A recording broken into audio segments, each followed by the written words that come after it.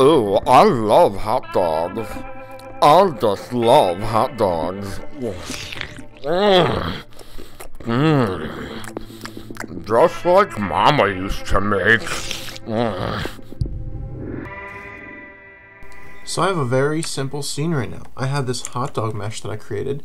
I want to take a bite of this hot dog. And there's a couple ways to go about it, but the easiest way, creating a version of the hot dog like I did here, that is one with a bite taken out of it. I went into edit mode, and I just, you know, grabbed about that much, deleted it, and I just sort of reconstructed the mesh a little bit. And the trick here is really just changing between the meshes. So as you can see, I have uh, I have my geometry nodes, and one bite, everyone knows the rule. If I hit one, it looks like I just took a bite of it.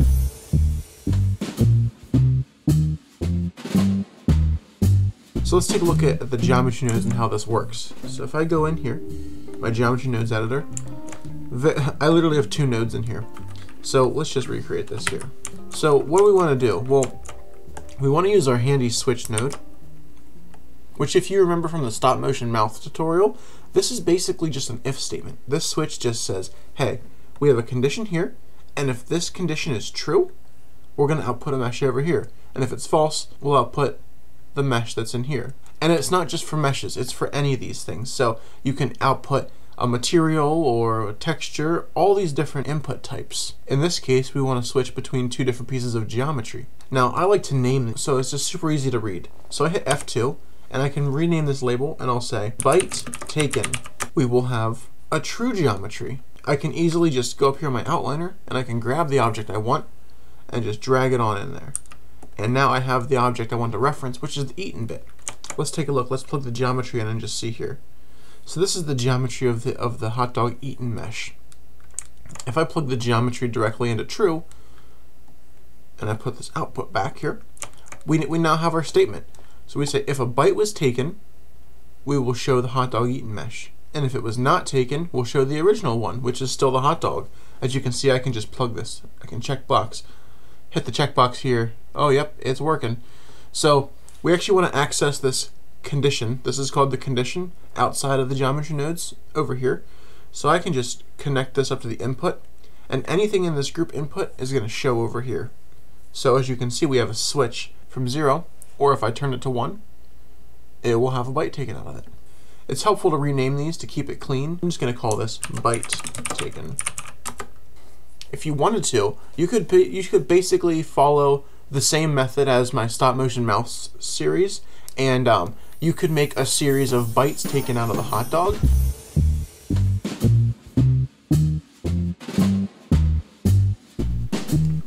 Okay, one important note is that because we're doing multiples now, multiple bites, we actually have to create those bites again. So we already made um, one version of this. I'm just going to make another one here and I'm going to go through and just just cut it down a little more.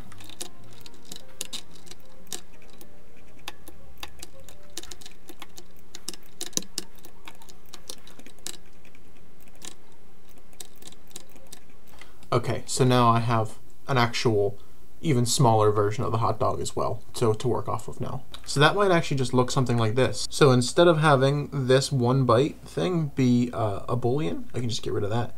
And I can just make a new input and I'll call this an integer and I'll name it bites. See? So I'll get rid of this hot dog eaten here and I'll just have a switch. So we, are gonna have three states. We'll rename this full hot dog one bite and then I'll duplicate it again, two bites. Cool. We can join all these together. So we're going to make a condition node group here, one that plugs into all of these. So I'm going to add a math node here. This is one I use a lot. And I'm going to change this to compare.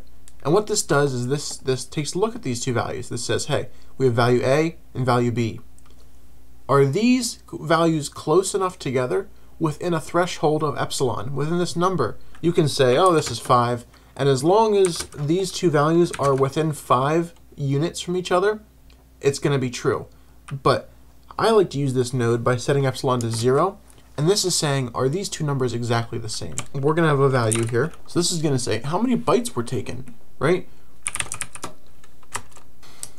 We have another variable that says, what bite is this? Bite 0 should be the full hot dog because no bites have taken. Bite 1 will, will refer to the hot dog with one bite taken out of it, and bite 2 will be the hot dog with two bites taken out of it. So I can just control G this here, and in our group input, we don't need epsilon because that's going to always be 0. Bite, and the bottom value to be bites, and these are just going to be integers. And it's going to output a true or false. And this here is our condition. So if I go back, I can get rid of these here, and now we have a condition. Under the node and then properties, I'm to call this. We need a condition for all of these. So I'm just going to duplicate it around here. Like we said, the full hot dog will, will be bite 0. The first bite will be bite 1. And, this, and two bites will refer to bite 2. All we have to do is connect this bites number to the bites we can connect all of our conditions up to each individual switch or condition value. So here we go, the moment we've been waiting for. The full hot dog, in this case, it is just the geometry. So I'm gonna set that for true. Since it's bite zero, we're reflecting that over here, it's gonna show. But if I go to bite one, nothing's gonna show. And same with bite two. So I'm just gonna drag them in from up here. Hot dog one. This is hot dog bite one, and I'll put that in true. And I'll drag hot dog two in here as well, and I'll plug that into the two bites. Duplicate it again, and I'll just drag it right down over here. And I'm going to call this bite 3.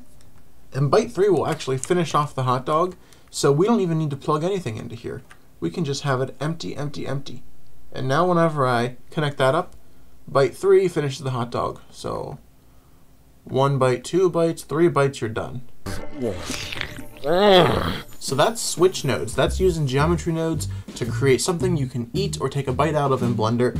Go check me out on Instagram. Show me your work over there. Give me a follow and uh, send me the work you make. I love seeing it. Just drop a comment below. Say hi, say what's up, and uh, I'll see you soon.